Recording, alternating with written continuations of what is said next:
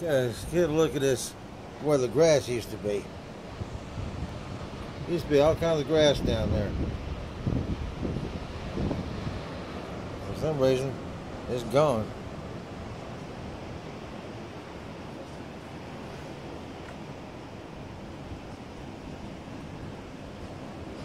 You can see where it was by the color of the sand.